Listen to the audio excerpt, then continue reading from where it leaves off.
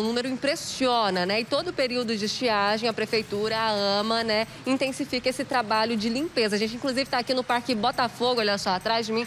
Tem um lago aqui que o funcionário já começou a fazer essa limpeza do lago. Quem vai dar detalhes para a gente sobre esse trabalho é aqui o presidente da AMA, Lua Alves. Presidente, bom dia para o senhor. Em Goiânia são 56 parques, 16 lagos, então tem que ter um trabalho intenso aí para poder controlar toda a situação, né? Bom dia mais uma vez. Bom dia. Justamente são 56 parques, 16 com lagos, que a gente vem fazendo o trabalho nessa parte de seca, é, intensificando o trabalho para buscar melhor a identificação também da, da, das questões estruturais dos lagos. Ou seja, não é só a limpeza. Se identificar algum problema ali, por exemplo, a manta de contenção, tem que ser feito um novo trabalho. Isso, é como você pontuou, no Parque Gerivá foi feita uma limpeza. Nós identificamos que a manta que impermeabiliza o solo para retenção da água tinha alguns problemas estruturais.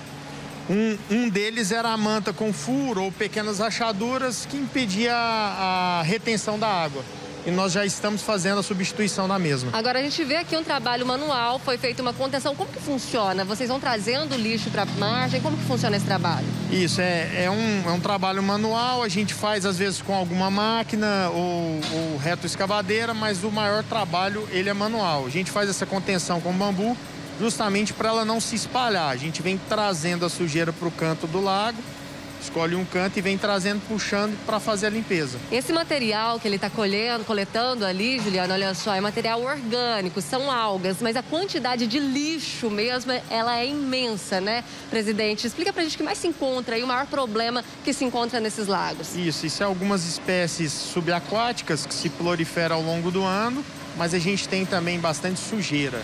É, só por para uma ideia, nós já recolhemos mais de 600 toneladas nesses 60 dias de trabalho. Muito plástico, e o que mais se encontra? É plástico, material orgânico, também areia, barro, que faz o assoreamento do, do, dos lagos, que vem de construções, de N situações. Né? E muitos desses lagos têm animais, tem peixes, né? tem tartaruguinhas ali. Isso é um grande problema para a fauna também, né? Isso. Por exemplo, um lago desse aqui, ele estava de uma forma que ele não via a questão da luz solar, atrapalha na oxigenação da água. Então, isso tudo interfere na vida do, do lago, né? Qual que é a orientação para a população? Porque muitas vezes a gente vê o pessoal deixando lixo no parque, né? Vai fazer um piquenique ali, não recolhe. Qual que é a orientação que o senhor pode passar? É, nenhum tipo de interferência no lago, nenhum tipo de interferência com os animais que convivem no parque de uma forma geral, né?